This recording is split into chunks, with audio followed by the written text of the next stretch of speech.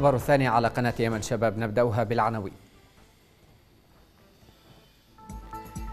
خمسة شهداء وإصابة قيادات عسكرية كبيرة في قصف لميليشيا الحوثي على قاعدة العند أمهات المختطفين بعدن تطالب بالكشف عن مصير العشرات من المخفيين قسرا.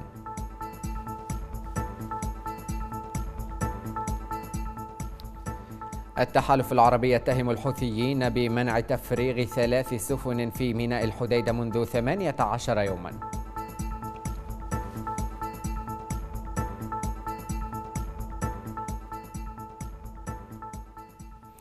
أهلا بكم والبداية في لحج حيث أصيب رئيس الأركان العامة ونائبه ورئيس الاستخبارات قتل عدد من العسكريين الخميس في قصف حوثي استهدف عرضا عسكريا في قاعدة العند الجوية بلحج.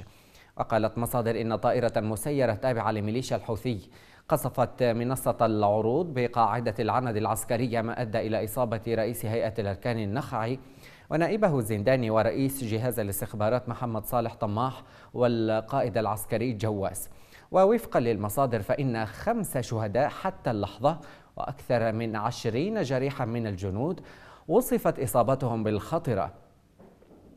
هذا وقد قصفت ميليشيا الحوثية القاعدة الجوية خلال احتفال عسكري لتدشين العام التدريبي. ومن بين الجرحى محافظ لحج اللواء أحمد التركي وإعلامي المنطقة العسكرية الرابعة محمد النقيب وفقا لمصادر عسكرية. وأضافت المصادر أن الطائرة حلقت في سماء المنطقة وقامت بقصف المنصة لحظة وصول أو دخول القيادات العسكرية لها. وقال شهود عيان إن عشرات من الإصابات الحرجة تم نقلهم أو نقلهم إلى مستشفيات لحج الحمد لله. الأمور ممتازة جدا. ونحن بصحة ممتازة. والطائرة الذي أرسلها الحوثي طائرة فاشلة قرحت على بعد ولن تصيب أحدا. ولن يروح علينا أحدا من الأفراد من القادة. كلنا بسلامات وأمورنا ممتازة وصحتنا ممتازة. وإن شاء الله إنه لا يصيب قوتنا المسلحة أي أذى. والحوثة فاشلين فاشلين. مهما مهما أرسلوا من طائرات بدون طيار أو طائرة مفخخه هذه الطائرة هي أتت مفخخه ونحن على معرفة إن نبي يستخدموها لكنها لا لا, لا تضر أي شيء والأمور يعني العرض مشى بشكل بشكل ممتاز وانتهى الحفل ونحن بروح معنوية عالية والطائرة تفجر على بعد من من مكان المنصة. إلى ذلك أكد شهود عيان أن الانفجار وقع بطائرة من دون طيار. ونقلت مصادر إعلامية عن المصور الصحفي نبيل القعيطي قوله إن طائرة من دون طيار شوهدت تقترب من منصة الاحتفال بتدشين العام التدريبي في قاعدة العند دون أن يتم اعتراضها. وأضاف شاهدنا الطائرة تقترب من منصة الاحتفال. وكنا نتوقع أنها طائرة لتصوير الحفل حتى هبطت داخل منصة الحفل وأحدثت انفجارا ضخم.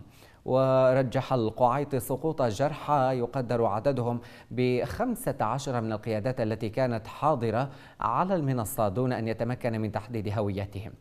القعيط أوضح كذلك إصابة إعلاميين في هذه الحادثة أو إعلاميين في هذه الحادثة بينهم الإعلاميان نبيل الجنيد ومحمد النقيب. هذا وكانت ميليشيا الحوثية الإجرامية قد أعلنت مسؤوليتها عن هذا العمل الإجرامي الذي استهدف عرضا عسكريا أقيم في قاعدة العند بلحج وبمناسبة تدشين العام التدريبي الجديد. وقالت قناة المسيرة الناطقة بلسان حال الميليشيا الانقلابية المدعومة من إيران إن ما أسمته سلاح الجو المسير نفذ هجوما على قاعدة العند بلحج جنوبي البلاد. مشيرة إلى أن الهجوم الجوي تم بعد عملية رصد دقيقة للتجمعات والتحركات داخل القاعدة العند أكد قيادي عسكري أهمية المرتفعات التي فرض الجيش الوطني سيطرته عليها مؤخرا في جبهة دمت شمالية ضالع وقال المقدم أو المقدم نصر الرزاقي ركن التوجيه في اللواء الرابع احتياط. قال إن سيطرة الجيش على جبال الظهور وقرية المعرش يمكن الجيش من التقدم باتجاه دمت في إطار العمليات العسكرية الجارية لتحرير المدينة. وأضاف بأن المرتفعات التي سيطر عليها الجيش قريبة من خط الإسفلت الرابط بين النادرة ودمت وبالسيطرة عليها تسهل عملية الدخول إلى مدينة دمت. وفي رده على سؤال بشأن منطقة الحقب والثباب المحيطة أوضح الرازقي أو الرزاقي أنه لم يتبقى سوى بعض الجيوب من الميليشيا ولجأت إلى زراعة المنطقة بالعبوات الناسفة والألغام. مؤكدا في هذا السياق أنه مع كل حالة انهيار للميليشيا التي تعيش أضعف حالتها تلجأ إلى زراعة الألغام في محاولة منها لإعاقة التقدم وتحرير مدينة دمت التي هي هدفا للجيش وتسير وفق خطط مرسومة.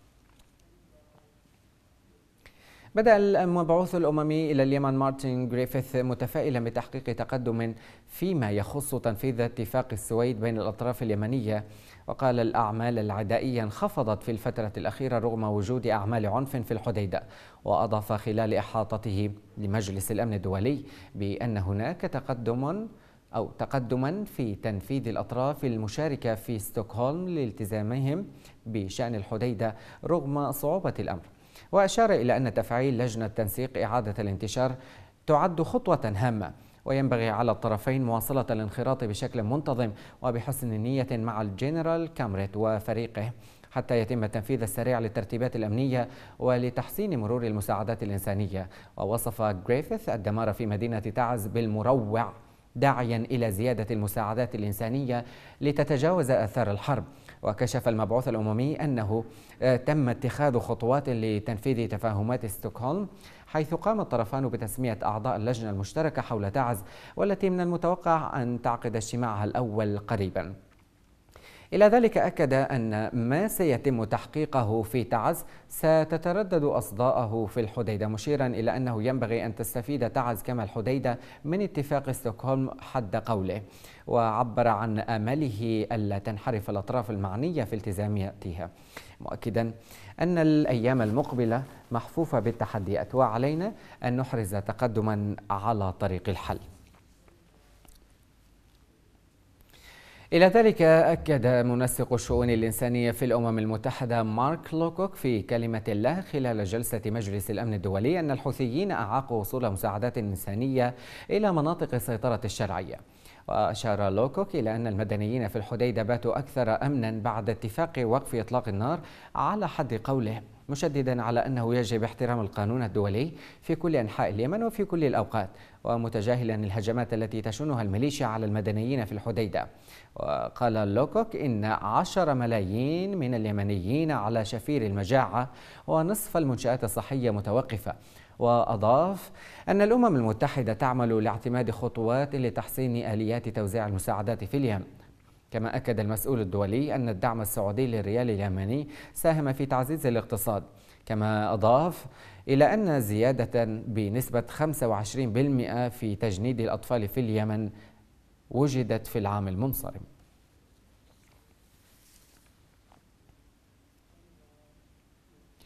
خلص تقرير للأمين العام للأمم المتحدة أنطونيو غوتريتش إلى أن تنفيذ اتفاق السويد بين طرفي النزاع في اليمن مهمة معقدة. أظهر تقرير الأمين العام للأمم المتحدة أنطونيو غوتيريش عن سير تنفيذ قرار مجلس الأمن 2451 والذي غطى الفترة بين الثامن والعشرين من ديسمبر 2018 والرابع من يناير 2019 أظهر صعوبات هائلة تقف أمام تنفيذ اتفاق السويد. في التقرير يقول الأمين العام إن عدم الاتفاق على تفسير مشترك لاتفاق السويد أحد أهم العوائق التي تهدد الاتفاقية بسبب تمسك طرفي النزاع بتفسيرات متناقضة. في حين أوكل كبير المراقبين إلى الطرفين الاتفاق على شيء معين دون أن تقدم الأمم المتحدة تفسيرها الملزم للاتفاق. في الجانب الإنساني قال التقرير إن الحوثيين غير مستعدين لاتخاذ خطوات بناء الثقة على عكس الحكومة اليمنية موضحا أن الحوثيين رفضوا السير في تدابير بناء الثقة ورفضوا فتح الطريق في التاسع والعشرين من ديسمبر وعمدوا بدلا من ذلك إلى عملية نحادية الجانب لإعادة الانتشار. التقرير ذكر أيضا أن باتر كامرت كان واضحا أمام الحوثيين والحكومة بأن أي العمليات الوحادية لجانب إعادة الانتشار لن تكون ذات مصداقية ما لم توافق نصوص اتفاق السويد ويتأكد منها الطرفان والأمم المتحدة. وحذر من تكرار عمليات الحوثيين في الميناء. عراقيل جديدة وضع الحوثيون أمام عمل الأمم المتحدة. منها ضرورة أن تخطر الأمم المتحدة الحوثيين في صنعاء بقدومهم قبل ثلاثة أيام بدلا عن يومين كما رفضوا التصريح بمرور معدات الأمم المتحدة وسلامة موظفيها مع تزايد التهديدات لموظفيها في الحديدة وفقا لتقرير الآمن العام للأمم المتحدة. حملت نقابة المعلمين اليمنيين ميليشيا الحوثية الانقلابية مسؤولية عرقلتها صرف حوافز المنحة المالية المقدمة من المملكة العربية السعودية والإمارات للعامين أو للعاملين في قطاع التعليم باليمن. وقال فؤاد باربوت مسؤول شؤون المعلمين بنقابة المعلمين اليمنيين.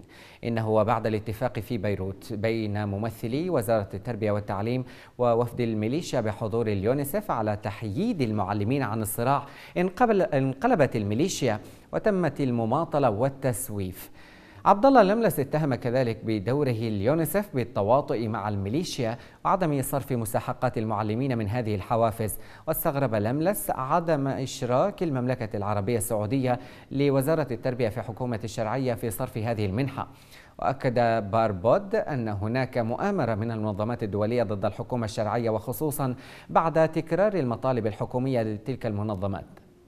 كما نقل أو, أو تم نقل مكاتبها إلى العاصمة المؤقتة عدن وأضاف الشرعية تتحمل واجبها وهي تقوم بدفع رواتب معلمين نازحين من مناطق سيطرة الميليشيا بعد أن فروا إلى مناطق الشرعية. أعلنت الهيئة الوطنية الشعبية رفضها لجهود الإمارات أو وجود الإمارات في اليمن لإشهارها اليوم الأربعاء. أو في إشهارها اليوم الأربعاء وتتمثل أهداف الجبهة التي تضم نخبة من السياسيين والإعلاميين والحقوقيين وخطباء ومرشدين وجهات اجتماعية ومن مختلف شرائح المجتمع اليمني تتمثل أهدافها في مواجهة التواجد الإماراتي بكل الوسائل الممكنة السلمية والسياسية والإعلامية وكذا الشعبية والعسكرية. أكدت الهيئة على مواجهة الانقلاب الحوثي في شمال الوطن وميليشيا الإمارات في الجنوب والتي تعمل على تقويض شرعية الرئيس هادي وحكومته في العاصمة المؤقتة عدن والمحافظات الأخرى.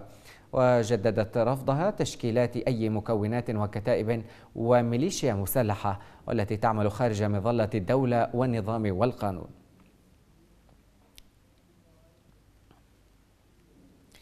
دعا حزب الإصلاح الأمم المتحدة ومبعوثها إلى اليمن دعتهم إلى اتخاذ الموقف المناسب مما أقدمت عليه الميليشيا الحوثية من عمل همجي بتهديد عائلة عضو الهيئة العليا للإصلاح محمد قحطان والمخفي قسرا لدى الميليشيا منذ أربعة أعوام. وهددت ميليشيا الحوثي أسرة محمد قحطان حيث أمهلتهم ثلاثة أيام لمغادرة منزلهم في صنعاء وذلك للسيطرة عليه. ما لم سيتم اقتحامه بالقوة. وأدان حزب الإصلاح التهديدات الحوثية ووصفها بالاعتداء الأرعن والهمجي على أسرة رجل السياسة والحوار المختطف الأستاذ محمد قحطان. وقال بيان الأمانة العامة للإصلاح في الوقت الذي كنا ننتظر الإفراج عن القيادي والسياسي محمد قحطان مع كافة المختطفين خلال أيام قليلة حسب ما تم الاتفاق عليه. في اتفاق السويد نتفاجأ بتصاعيد الميليشيا وإمعانها في ارتكاب الجرائم والانتهاكات التي ليست بحق المختطفين المدنيين فحسب وإنما بحق أسرهم في تحد وقح للجهود الدولية الرامية إلى وقف الحرب. إلى تعز حيث وجه محافظها نبيل شمسان بتسفير الحالات الحرجة من المصابين جراء المجزرة الأخيرة التي ارتكبتها ميليشيا الحوثية الإنقلابية في حي الروضة شمال شرقية تعز. وقال مدير عام إعلام المحافظة نجيب قحطان قال إن وفدا من السلطة المحلية قاما بزيارة الجرحى في قسم الرقود بمستشفى الصفوة بناء على تكليف من المحافظ شمسان مشيرا إلى أن هناك حالات. قال الأطباء بأنها إلى حاجة لتلقي العلاج في الخارج. اليوم بتكليف من معالي المحافظ محافظ محافظة تعز الأستاذ نبيل شمسان. تم زيارة الجرحى في مستشفى الصفوة. هؤلاء الذين الذين أصابتهم القذيفة الساقطة من قبل الحوثيين والذين أصيبوا إثرها ما يقل عن 13 جريح إضافة إلى استشهاد امرأة وطفلها ورجل آخر متأثرين بالقذيفة. وقد التزم محافظ محافظة تعز بتسفير من سيتقرر تسفيرهم إلى الخارج للعناية ولمعالجتهم بإذن الله. نتقدم بالشكر الجزيل لمحافظ المحافظة لتجاوبه وتفاعله مع جرحى تعز وبإذن الله سيتحقق تحقق لهذه المحافظة الأمن والاستقرار آه، ولن يهزمون الحوثيين بقذائفهم خاصة وأن محافظة تعز منذ أربع سنوات استطاعت أن تتعدى كل حواجز الموت وبإذن الله ستعانق الحياة سواء آه، أبى الحاقدون أم رفضوا لذلك. وفي عدن حيث تواصلت احتجاجات الأمهات للمطالبة بإطلاق ذويهن من سجون تابعة للإمارات. وقالت الأمهات في وقفة احتجاجية نفذتها صباح الأربعاء أمام مقر للتحالف بعدن أنهن ينتظرن بشوق ولهفة راية فلذات أو رؤية فلذات أكبادهن الذين لا يعلم مصيرهم المجهول مناشدات الكشف عنهم أو معرفة أوضاعهم الصحية والمعيشية. ورفعت الأمهات صور أبنائهن المخفيين قسرا منذ أكثر من عامين مطالبات بتمكينهن من حقوقهم الإنسانية العادلة أو بتمكينهم من حقوقهم الإنسانية العادلة وإعادتهم إلى أمهاتهم وذويهم الذين ينتظرون عودتهم. مناشدات بالوفاء بالوعود المتكررة التي تتلقاها الأمهات بشكل يومي دون فائدة. هذا وكانت الأمهات قد نفذن وقفة احتجاجية في شهر نوفمبر المنصرم أمام مقر التحالف بعدن وقدمن كشفا بأسماء أبنائهن المخفيين على وعد بأن تتلقى الأمهات إجابات من إدارة الأمن والتي لم تعطي الأمهات أي إجابات أو تفاصيل ومعلومات عن أبنائهن حتى اليوم. استأنفت الفرق الهندسية أعمالها في إعادة ترميم خط صافر العبر للحد من الحوادث المتكررة التي يتعرض لها المسافرون. المساحة المستهدفة تمتد إلى 62 كيلومتر طولي وبتكلفة مالية تزيد عن 100 مليون ريال. زميلنا عمر المقرمي زار المكان وأعد لنا هذا التقرير. انتبه أنت في خط الموت. رغم الإرشادات التعليمية واللوحات التحذيرية من سوء الطريق إلا أن الموت يكمن بين هذه الحفر. وللحد من الأحداث المتكررة التي يتعرض لها المسافرون مرارا والتقليل من عواقب السير في هذا الخط استأنفت الفرق الهندسية للطرق والجسور عملها بترقيع هذه الحفريات المخيفة كضرورة مؤقتة بتمويل من شركتي صافر والغاز بلغت تكلفتها ما يزيد عن 100 مليون ريال.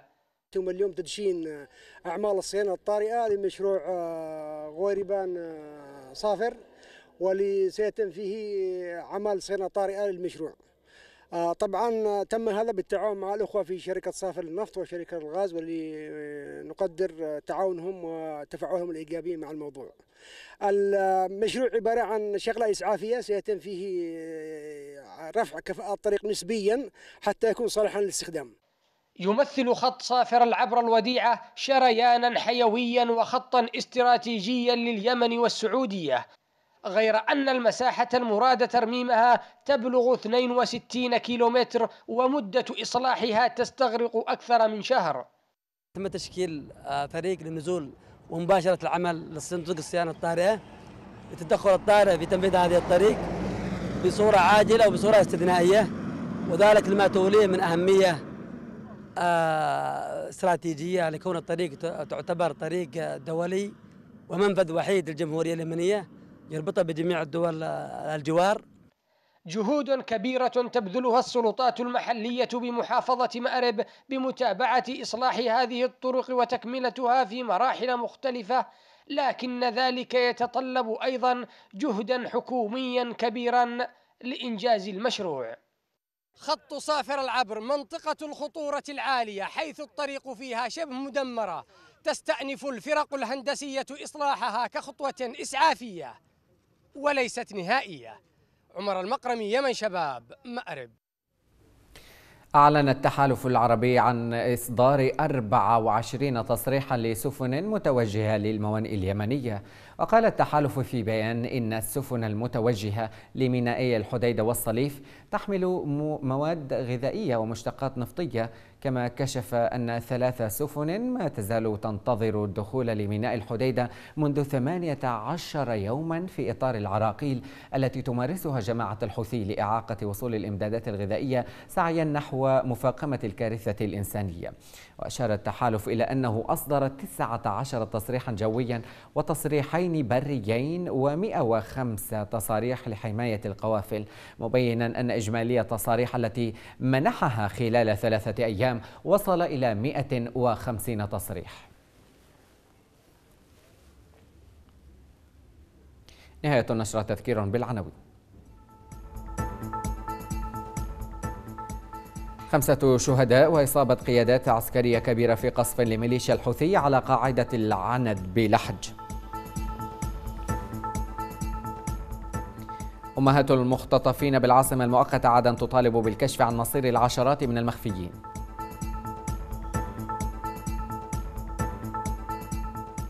التحالف العربي يتهم الحوثيون بمنع تفريغ ثلاث سفن في ميناء الحديدة منذ 18 يوم.